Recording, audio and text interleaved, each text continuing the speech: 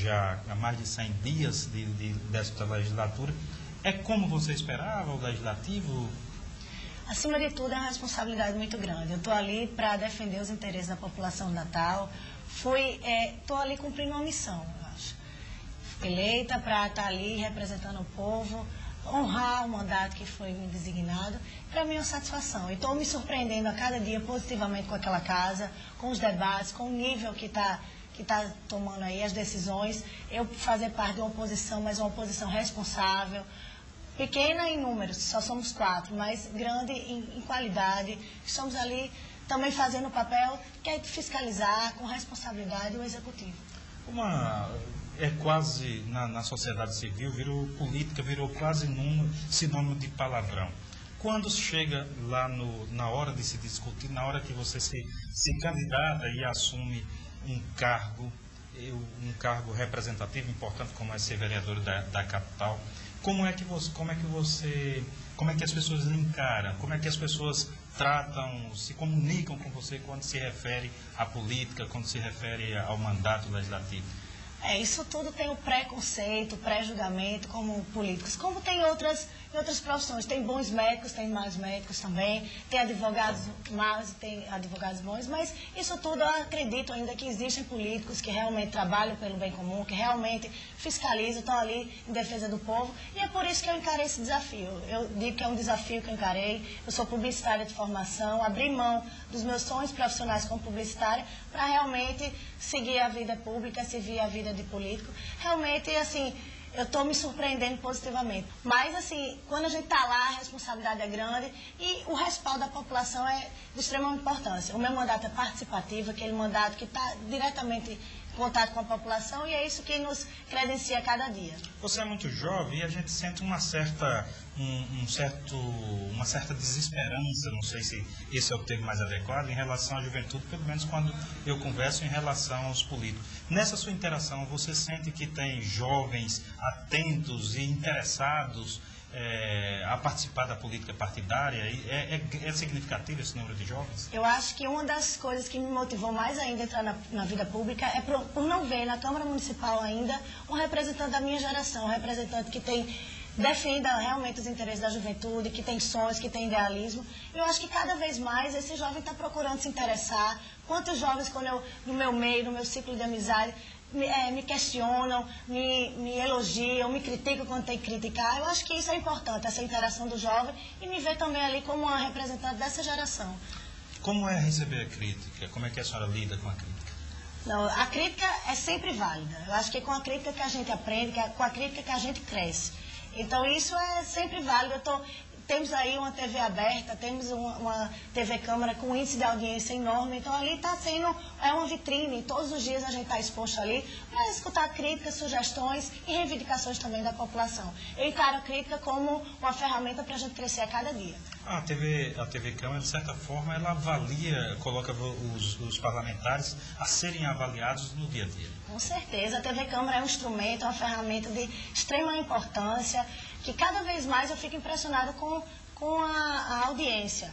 Quantas pessoas, olha, vi seu pronunciamento, gostei, ou então fale isso, ou então a, a TV Câmara está possibilitando com que essa população tenha maior interação com os vereadores, que ali é a casa do povo, ali é para ser compartilhada com a população geral. Ainda é, não é canal aberto, não é TV aberta, mas em breve vamos colocar para ser canal aberto para ter ainda, para abranger ainda mais a população Natal. Perfeito. a senhora participou recentemente agora das eleições que antecipada da mesa, diferente de outros municípios como Macaíba, como Nízia Floresta, que reelegeu a mesa de forma antecipada. Aqui no, na cidade de Natal aconteceu diferente. É, o vereador Edvan Martins conseguiu ser eleito presidente numa eleição antecipada. Queria que a senhora contasse um pouquinho para a gente como é que foi esse processo. Esse processo de eleição se deu pela, pelo fim da reeleição. Então, entendemos que o fim da reeleição tinha que existir. Então, eu apoiei Edivan Martins, que é um vereador que estava parte comigo desde o primeiro momento, no dia 1 de janeiro, quando elegemos o atual presidente Dixon Nassi, que eu não fiz parte do grupo que apoiou. Então, estávamos encabeçados nessa proposta de, de renovação, de dar fortalecimento ao parlamento, à Câmara Municipal. Então, por entender que não existiria mais a reeleição, antecipamos esse processo, elegemos agora Edvan Martins, é, um número expressivo de 17 vereadores apoiando nessa chapa, que agora vai dar, vai tirar um pouco desse, dessa prática que estava acontecendo há alguns anos aí, de alguns mandatos sucessivos, que era o mesmo grupo que estava ali no comando da Câmara, só mudava de fato o presidente. Agora eu acho que vai dar uma maior ampliação, levar a Câmara itinerante nos bairros, o portal da transparência, essa questão também da TV do sinal aberto. Então tudo isso são uma carta de princípios que assumimos com o presidente eleito Advan Martins, que espero ser cumprida. E faço parte também da mesa diretora, como segunda vice-presidente da, da casa, quero dar minha contribuição. Quero ali dar fortalecimento àquela casa municipal. Eu, é certo dizer que o grupo do deputado Rogério Marinho saiu perdendo nessa, nessa, com a antecipação das eleições?